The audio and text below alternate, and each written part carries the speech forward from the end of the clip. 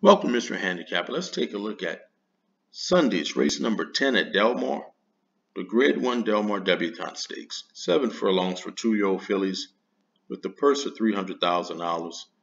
This is a very competitive race with some really good quality young fillies.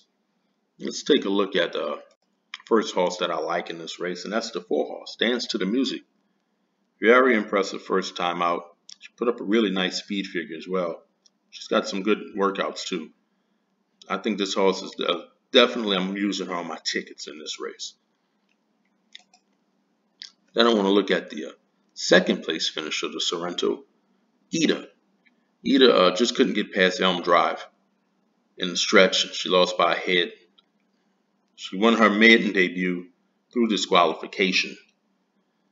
She had nice speed figures in both of those races, and she's got some nice workouts. She gets John Velazquez for this race. She's going to be an interesting pick.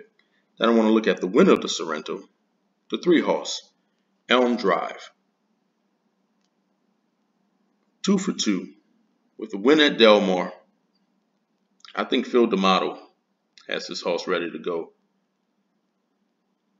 I'm definitely using her, and she's probably the horse to beat in this race. But I want to look at the seven horse, Grace Adler. Now, she won her debut by three quarters.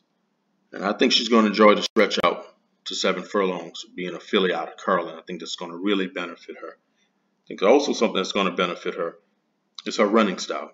I think she's going to get a fast pace in this race. You have several horses that like to be on the lead. I think they're going to go out there and set a fast pace. She just needs to kind of step up her speed figure a bit and uh, move forward in this race. She's an interesting pick. She gets Flavien Prat. I'm gonna tell you, I had a tough time picking a winner. I went back and forth a lot. Uh, I'll do some boxing in this race with exotics, but I'm going to give Grace Adler the edge in this race. I think with her running style and stretch out to seven furlongs, Flavien Prat, I'll and, and she's five to one. I'm going to give Grace Adler the edge over Elm Drive. Ida and dance to the music to try to get a little more value out of my exotic plays, take a look at the six horse Rock the Bells.